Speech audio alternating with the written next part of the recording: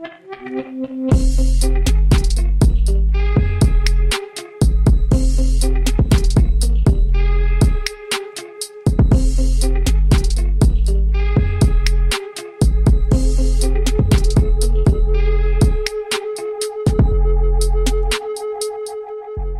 what's up guys Josh here and welcome back to another video. So this is the long-term review of the TUF A15. As I was getting a lot of questions regarding the TUF A15 I thought I should make a long-term review of it and you know it's in my hands for almost 5 months now. So in this video I'll be sharing you the experience that I had with this laptop so far plus some issues that I personally faced and also some issues that people said that they witnessed with this laptop and also some subscribers contacted me through Instagram and also told me the issues that they had personally in their TUF A15 that they bought recently. So I'll be also covering those things. And on top of that, I'll be also telling you about the two major compromises of this laptop, one on the display side and the other on the thermal side because you know they are the major compromises that this laptop had. So I'll be telling you if it affected my productivity in any way. And that's all that we are going to see in this video. But before that, if you like our content, then consider hitting the subscribe button and also turn on the notification so that you will be notified whenever I upload a new video. And now let's get into the review of the TUF A15. So now, first things first, let's talk about the build quality of this laptop and build wise you know some long term usual stuffs like the laptop got scuffed up. It has a few scratches on the top of the brushed metal coating. And also it has a few scratches on the inside too. And also one of the things that i noticed with this laptop is that you know it has uh, little grooves on the top uh, of the keyboard as vents. And also the TUF gaming logo itself is a vent. So uh, considering these grooves it catches a lot of dust and a lot of dirt settles in it so I had to use some accessories like slime to clean them up and now one of the biggest things biggest letdowns that I think this laptop has is that I don't know if uh, any other YouTuber or people face this but I was no longer able to open the lid with one hand with the cutout that I'm given at the top of the lid. They actually advertised this thing that it can be opened with one hand using the cut cutout that they've given at the top of the laptop. I also did open it with one hand for a couple of months after unboxing the laptop. I even showed a b-roll of, of me opening the laptop with one hand using the cutout. But then after a couple of months, I was no longer able to open the laptop with one hand. The hinge got so firm. So that is one of the things that I found to be disappointing in this laptop. But apart from that, the build quality is solid, it's rigid, I won't complain anything about the build quality. It's actually impressive for this price. Alright, now let's talk about the display side, one of the major compromises that this laptop had. So you know it has 144Hz display which is really fluid because I've changed it to 60Hz uh, in the settings panel and as soon as I changed it to 60Hz I was able to notice the drops in the frames in the FPS of the display. So I reverted back to the 144Hz display again so it's really fluid. It makes it makes the laptop so sleek. I won't complain anything about that. And the second thing that this laptop had is that it had the anti-glare coating over the display which i really adored because i was not expecting much from this anti-glare coating like i said in my initial review of this laptop. So that's one of the things that i found to be more useful in this laptop. Now let's talk about the compromise. The 60% sRGB coverage in this laptop. Now you see uh, I'm a content creator. As a content creator, color accuracy is really important for me. So I was always in a thought to buy an external monitor. So the compromise on the display side was not a big thing for me. And also I've included this a lot of times in my previous videos that as long as you don't compare this laptop to the other laptops in the market, you're not going to notice the bad color accuracy. And so far, I was not using any external displays with this laptop. I have edited all my videos that I posted so far in this channel using this laptop's display and using this laptop actually I edited all my videos in this laptop. And one of the major things that affected my productivity is that whenever we unplug and plug this laptop, the contrast and the brightness of this laptop they both change i actually said the brightness only in my initial review but then i found that the contrast also changes whenever i plug in or unplug this laptop and uh, let me tell you my context. Well, I will sometimes forget to plug in the laptop and I'll use it on performance mode. And on performance mode, the contrast is actually a lot less. And as soon as I say plug in the laptop, it turns to the turbo mode. So the turbo mode, in the turbo mode, the brightness and the contrast changes a lot. So in my case, I gotta redo the color correction, I gotta modify it a little bit to the current contrast and the brightness. The flipping of the contrast and the brightness is one of the main things that affected my productivity. But then I figured out that it's just a feature that happens to be saving the battery when the laptop is running on power. Alright, now let's talk about the second major compromise in this laptop. obviously the thermals you know it happens to be one of the most controversial laptops of 2020 because of its bad thermal design a lot of videos are now online on youtube about its bad thermal design. And also I was a little concerned about the thermals of this laptop before I was buying this laptop. Because you know uh, the display the compromise on the display side isn't a big thing for me because I'm gonna purchase a purchase an external monitor. Anyway I'm gonna use it with my laptop so it's not a big concern for me. So the only concern that I had was on the thermal side. I was a little concerned about it whether it's gonna affect the performance of this laptop so because you know thermals are really important in a laptop.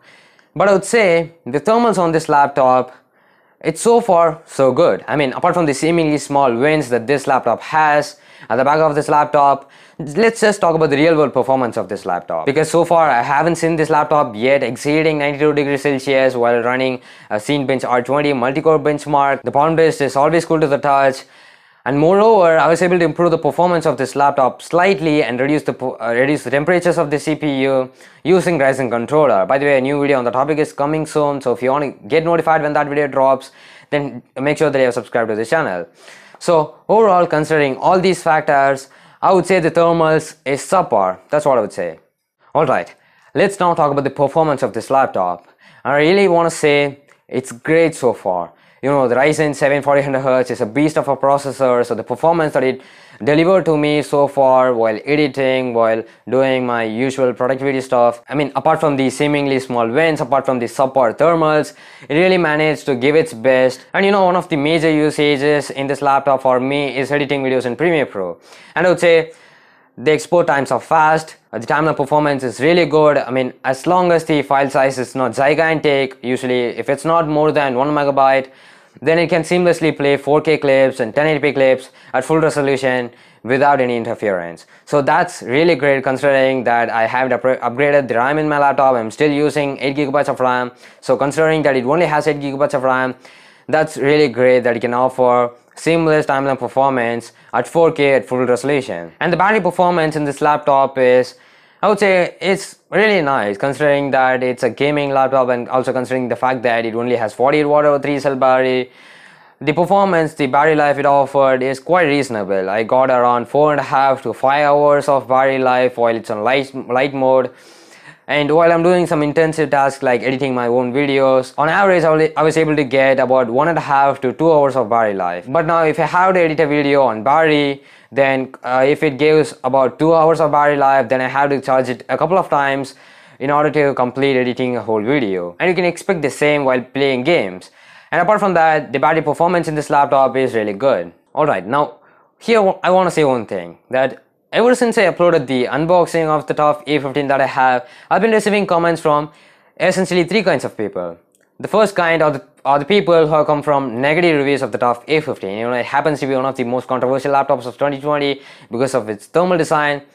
So there are a lot of negative reviews about this laptop. And also I've seen it getting depositioned in one of Dave Lee's videos for best laptops of 2020. And I wasn't quite surprised by that to be honest because you know the market is different in the USA there are a lot of good laptops in the market compared to TUF A15 in USA so the market is different. The comp competitions of the TUF A15 is different there. So I'm not contradicting his opinion here my take is that if you're watching a foreign YouTuber's review of a specific product, the things that you should take into your into account are basically the how good the pillars of that specific product are. For example, if you take a laptop, you can believe him saying how good the display is, the performance is, the battery is. But you see the competition is different and some laptops that he had included in that list is not yet launched in India and some of them has been launched in India but they are not yet available to the consumers. So considering all these facts, that is why I've said the TUF A15 is a good option in India to go for.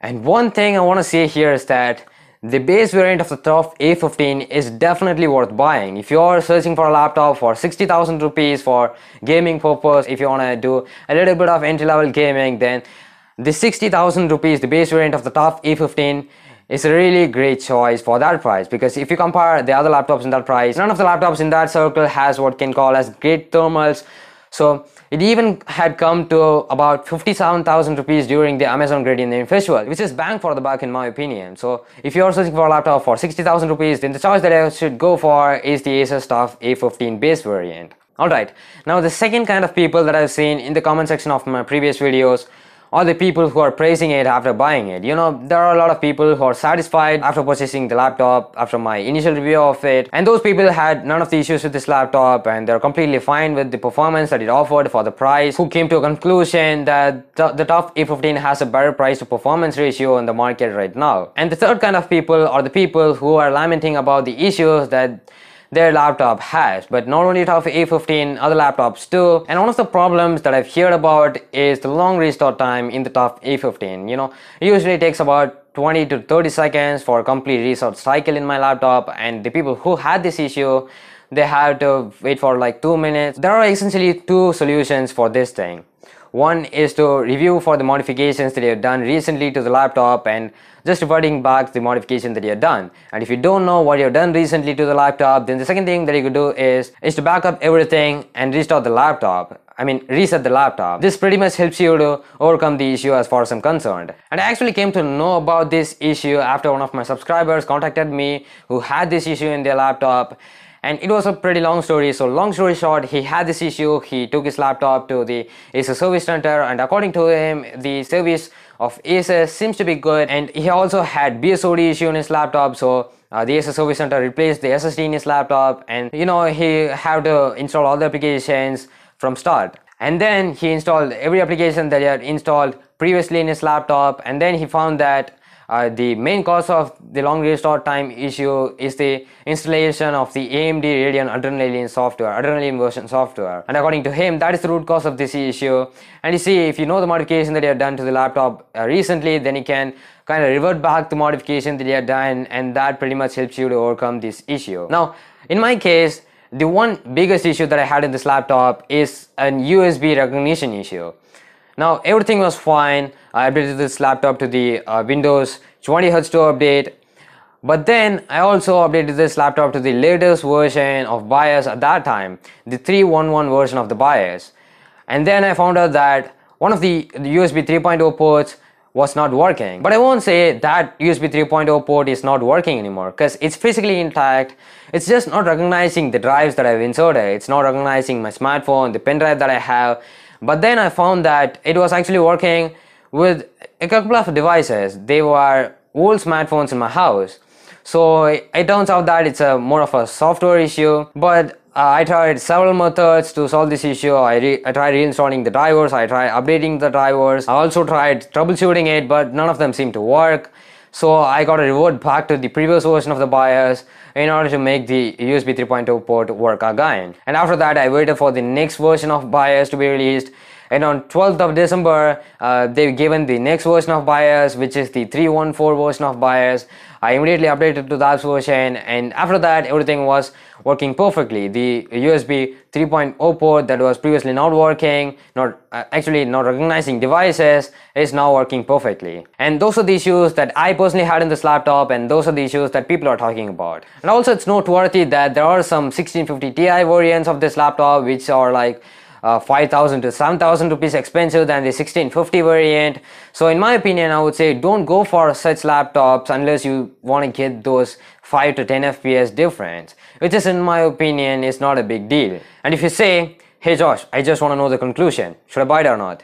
Then i would say yeah unless you don't nitpick about the thermals and the display. Because like i said previously as long as a drawback of a specific product didn't affect you then you can buy that product. And honestly the price to performance ratio that this laptop delivered was the major reason was the major factor that swayed me towards buying this laptop compared to other laptops. And also while I was buying this laptop I also compared a few laptops with it and I was trying to get the most value out of my money. And that's where I found the Asus TUF A15 to be the right choice for me. And at the end of the day I'm just looking forward to seeing the next TUF series laptop with a better color accurate display. I hope they won't give cheap displays again and more importantly with better cooling solution and still retaining its better price to performance ratio because I would say that's the redeeming quality of the TUF A15.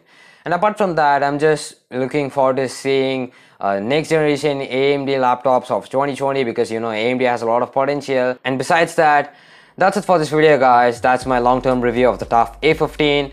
I hope you have found this review helpful. And again, thanks for watching and I'll catch you guys in the next video.